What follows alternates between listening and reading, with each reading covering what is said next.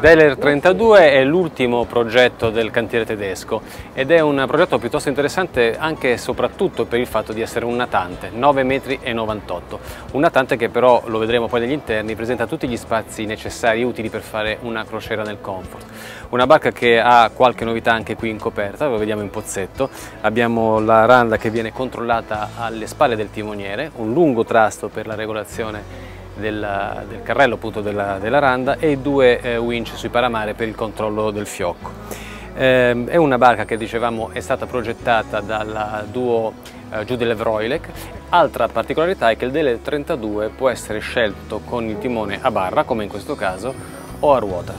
Crediamo che questo, questa soluzione, quella della barra, sia la più indicata per una barca di queste dimensioni.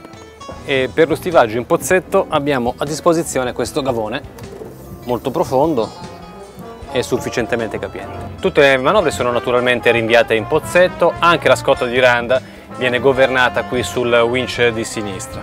Un pozzetto che eh, permette di accedere agli interni attraverso questa tagliola molto comoda da aprire e chiudere. Ed eccoci dunque all'interno del del 32, dicevamo un natante con qualche ambizione da barca più grande, effettivamente guardate qui il quadrato è abbastanza spazioso, sicuramente può apparire come il quadrato di una barca leggermente più grande. Il layout proposto dal cantiere prevede una cabina a prua classica e una cabina a poppa.